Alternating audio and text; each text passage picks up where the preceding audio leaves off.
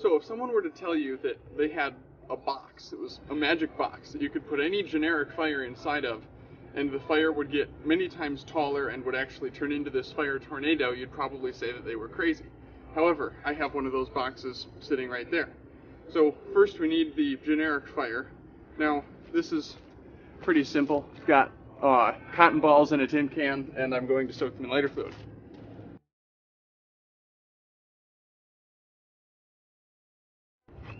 Make sure there's not any on my hands.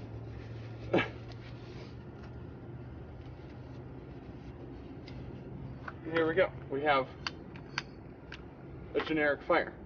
Now, you can see that it's maybe eh, six or seven inches tall, a bit more when the wind gusts up.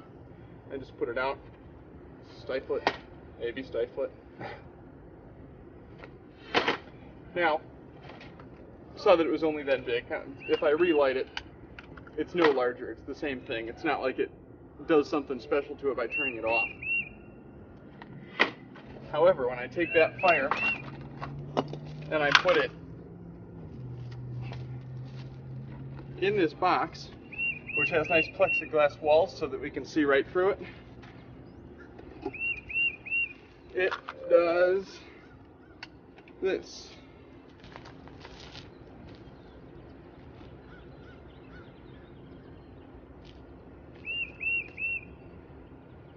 Fire gets three or four times taller, starts rotating, and looks really, really cool.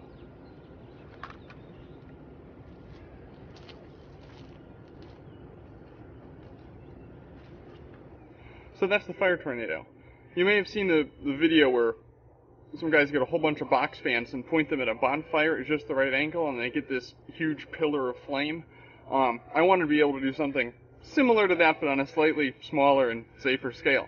So this is what I ended up with. Now, there's this went through lots of iterations, and there are ways to do it with fans and powered blowers and things like that. But what I ended up with is actually a completely passive design. Um, it was a combination of things that I found out through prototyping and videos that I watched. So I'll, I'll link a couple of those in the uh, description here. But to make a fire tornado like this, it's really a fire vortex. You need to understand how a vortex forms. And uh, just like a real tornado that you see in storms, uh, it's got two elements. It's got rotation, clearly, and an updraft. And the, the updraft is something that you don't normally see. But uh, both of those are necessary to form a vortex, and both are actually present in this design, or else it wouldn't work.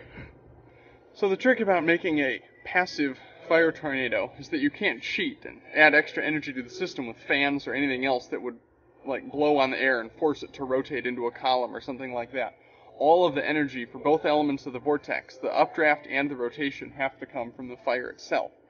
Now, we know that fires are really good at making updrafts. All they do is heat air. So, hot air is less dense than cold air, which means that the hot air is going to rise. It's just how a hot air balloon works, except we're not putting a balloon over the top, so the air just goes up. Now, if we actually light a fire here, the uh, shape of the flame gives us some indicator of what's going on. You can see, well, you really can't see because there's wind, but what a fire typically does is come to individual flames will come to a point at the top. And that means that there is air moving up, but the trick is where that air is coming from, because you can't just shoot air out of the fire. There's not a compressed gas bottle in there that's just shooting out compressed air. The air has to also be entering the fire. So, in a fire like this, air is actually entering from all sides almost horizontally. So, any individual air particle is going to be moving towards the fire, it's going to reach the fire, and then it's actually going to be heated and move up. So, fires aren't just making an updraft, they're actually doing two things. They are drawing air towards themselves and then heating that air and making the updraft. So you get that flame shape up to a point. Now, because fire is not only making an updraft, we can now also trick it into making the rotation for us. Uh, that drawing air in towards it, you can make it draw that air not straight in, but at angles. And if you can force the air to be drawn towards the fire at an angle, and not just straight towards the middle, then you can trick the fire into making itself rotate. And that's exactly what that tornado machine does. So I'm going to show you how that works.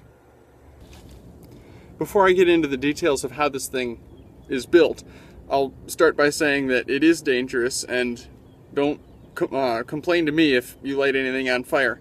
Now, that being said, it is uh, very possible to do many dangerous things safely if you're careful, and uh, this is no exception. Note that I'm lighting this in a uh, gravel parking lot with a concrete wall behind me, and I have a thing of water sitting right here ready to put it out it should the need arise.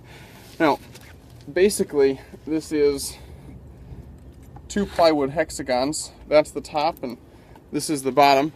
And uh, they are held one 2x4 width apart. And uh, the walls are actually made of these sheets of uh, polycarbonate. And one that's so that you can see through it but two it makes it adjustable so that you can actually slide these things in and out. As I said we need to force the fire to rotate. And if I were to put if I were to close all of these off and make it a perfect hexagon, there would be no gaps for the fire to rotate. And if I were to make a hexagon with just the corners cut out, air would just rush straight in towards the middle. So you actually need to pull these panels out a little bit so that they're offset so that air can go in that way and air can go in that way and air can go in this way. And all of the air that's entering the box is actually already rotating just because it has entered the box. So all these pieces of Plex are just held up by some 2x4s, which makes it nice and adjustable and easy to play with. The, uh, the fire in the center is in this can. I think it came from a container of mandarin oranges or something. A soup can, anything will work. And uh, I actually have some foil in the bottom of this to make the uh, the cotton balls a little closer to the surface because I found that that helps the airflow. Now, it's a pretty simple construction and I actually went through like three days of cardboard models trying to make this exact passive design work and ending with a, a full-scale one-to-one model to make sure that I wasn't going to waste my money on all the polycarb uh, before I built this. So it's actually very easy to throw together a cardboard one of these, although then you have to be even more careful and keep even more water nearby if something were to go wrong. So uh, that's basically it. What I think the really cool part about this project is that when you put a fire in the box, it actually amplifies the fire. It releases much more light and much more heat than if the fire were outside of the box and not forming a vortex. Now, I haven't read any explanations as to why this may happen. There are fire tornadoes that naturally occur during wildfires and stuff like that, but I'm going to explain what I think is happening to the best of my knowledge. First, I want to talk about the rotation clearly there's rotating air in this box or else it wouldn't do the tornado. But uh, what we need to do is determine what it is about that rotation that is making the fire burn so much larger. Now, I want you to picture one of the big science fiction space stations, the big round thing that's always spinning, and uh, supposedly they feel artificial gravity because they're standing in it and they feel like gravity is pointing out in all directions, and that up is actually the middle of the space station, the center of rotation. Now, this is a completely scientifically valid thing to build, although no one's actually built one yet.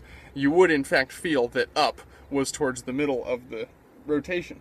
So, in this case, up is still the middle of rotation. Now, I said earlier that hot air rises, but in this case, hot air is actually going to move towards the center of the cylinder here the cylinder of rotating air, which means that you're going to get a pillar of hot gas that rises through the middle of the entire box. Now, what that does is by concentrating all of that hot air, it means that you're going to achieve much higher temperatures in the middle. And when you burn fuel at really high temperatures, you burn that fuel more efficiently.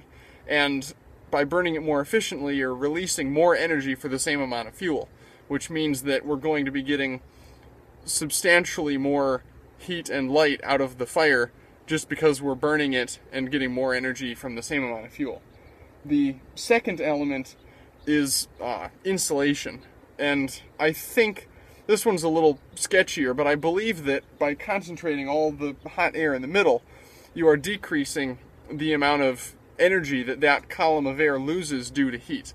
Um, when you've got hot air from a fire, it's really hot. It's got a lot of extra energy and it's trying to get rid of that energy. It can do that in two different ways. One, by basically having molecules run into other molecules and transfer heat just through motion. So that means that the hot column of gas is going to be spreading its heat out into the rest of the gas and just making everything warmer. The second method that it can get rid of energy by is light. Every time it emits light, it emits a little bit of energy and it loses that energy and it's happy because it's trying to become the same energy as everything else, basically. And when you are preventing the heat flow from happening, it means that the system has more time to emit light. You can't really speed up its emission of light. I mean, there are certain things like lasers that do that, but this is not one of those things. So basically, assume that the same amount of light is leaving the pillar of hot gas at all times. So if you can maintain the temperature of that pillar for longer, then it's going to release more energy as light. So because the hot gas is rising, we basically see that as a taller flame because as the air is rising, it's cooling and cooling and cooling, and at some point it reaches a temperature where it's not going to emit, emit light anymore. And if we can slow down its cooling such that it hits that temperature when it's all the way up here instead of all the way down here, then you end with a apparently much larger flame. And uh, to my knowledge, the combination of a more efficient burn and a larger fraction of the emitted energy being emitted as light are the two uh, key factors that make the fire tornado uh, act as a fire tornado and not just a small fire in a cup. So, behind every fun toy, there's probably a lot more, substantially more fun physics.